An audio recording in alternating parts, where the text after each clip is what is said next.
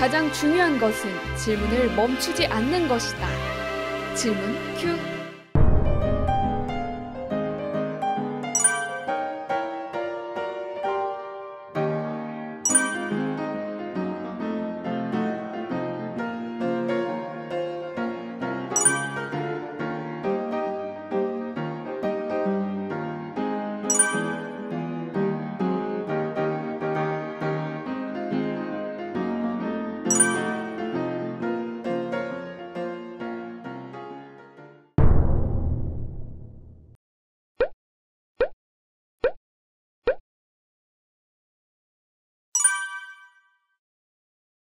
네, 이론은 존재합니다, 항상. 하지만 기술적으로 그걸 만들어내는 게 굉장히 힘든데요. 어, 나사에서 좀 생각하고 있는 것은 태양과 화성 사이에다가 이게 큰 어, 자기장을 만들어낼 수 있는 generator를 놔서 화성을 덮을 정도의 그 중간에다가 만드는 거죠. 그래서 자기장이 형성되면 그 자기장이 만들어지는 있는 곳에 그래서 곳으로 날아오는 태양풍은 막아버리고 튕겨내버리기 때문에 그 뒤에 있는 화성은 어, 그 태양풍으로부터 안전하게 보호할 수 있는 그런 아이디어를 가지고 있습니다. 분명히 이론적으로는 있지만 말씀드렸지만 기술적으로는 한계가 있습니다. 그렇지만 곧 개발이 될 거라고 저는 믿고 있습니다.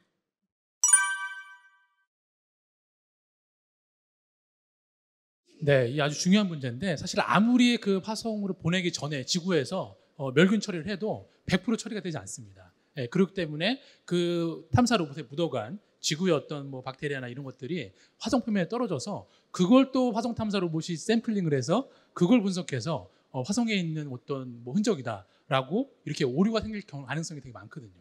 예, 그렇기 때문에 그, 그 최근에 가장 최근에 화성에 가 있는 그 큐리오서티라는 탐사 로봇부터는 어, 이제는 그 손에 드릴이 달려 있습니다. 그래서 어, 이제 표면에 있는 그 토양을 분석하는 게 아니라 드릴로 구멍을 내서 안에 오염되지 않는 깨끗한 샘플을 예, 꺼집어내서 분석을 해서 더 정확도를 높이는 거죠. 자, 그래서 아마튼 이것들이 지금도 이미 이제 화성에 가서 떨어진 뭐 착륙선들, 뭐 가 내려가다 실패한 탐사선들이 무지 많이 떨어져 있는데, 아, 이건 뭐 좀 글쎄요 어떻게 해야 될까요? 네. 네, 그래서 지금 사실 이게 굉장히 큰 문제가 될 수 있기 때문에 얼마 전에 나사에서 그 이걸 이런 문제를 해결할 사람을 뽑았어요. 행성 보호관이라는 아, 이름으로. 맞아, 맞아, 맞아. 음. 네. 행성 보호관입니다. 네, 그 사람은 행성을 보호해야 되는.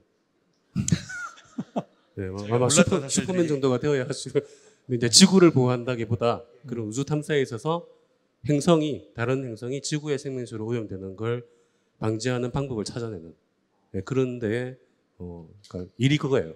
그걸 주로 하는 행성 보호관을 했고요. 그 모집 공고를 오픈을 해버렸는데 전 세계에서 수만 명이 지원을 했습니다. 초등학생. 그뭐 근무 조건까지 다 홈페이지에 있었어요. 뭐 연봉이 한 매덕 한 2, 2억 정도 됐고요. 뭐 지구를 지키기에는 좀 싼 값이긴 하지만 예, 그런 것도 있었고 하여튼 뭐 굉장히 그 화제가 됐던 그런 일이 있었습니다. 그만큼 중요한 문제로 생각을 한다는 거죠.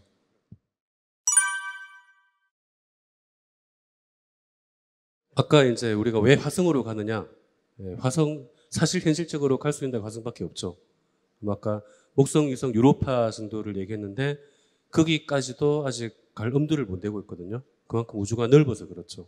그러니까 어, 만일 이제 지적 생명체가 사실 뭐 이진수를 하는 생명체는 그렇게까지 똑똑하진 않아요. 이진수는 뭐 그렇게 어려운 수학은 아니거든요. 여기 계신 분들 다 알기 때문에 아닌가? 네.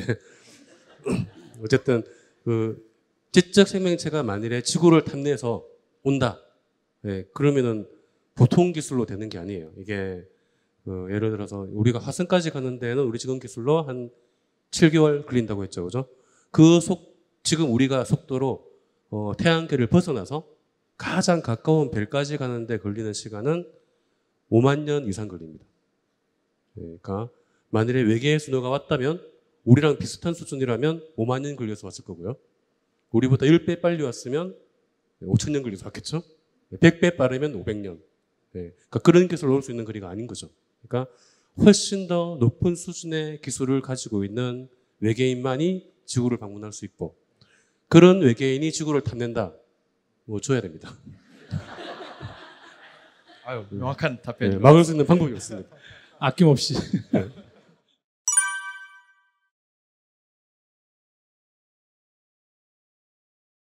사실은 당분간은 태양은 계속 더 뜨거워집니다.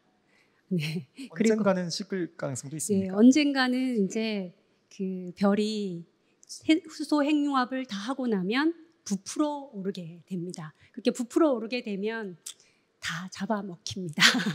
부풀어 오른 어, 태양 대기 속으로 대부분의 행성들은 어, 떨어지게 되고 그래서 뭐 테라포밍 이런 거 생각해 볼 필요가 없어집니다. 네. 예, 식기 전에 그 팽창을 하기 때문에 네, 네. 그 팽창하면은 태양 표면이 지구 정도까지 옵니다. 거의. 그러니까 지구는 그냥 다 타서 없어지고요. 네. 화성도 못 살고요. 없어지고. 이럴 때는 뭐 지구, 화성 이런 데로 가면 안 되고 저기 이제 그 유로파나 토성 이쪽으로 가야 되고. 근데 그 그쯤 돼버리면은 태양이 이제 몇 억 년 못 살거든요. 그러니까 아예 다른 별로 찾아가야 될 겁니다.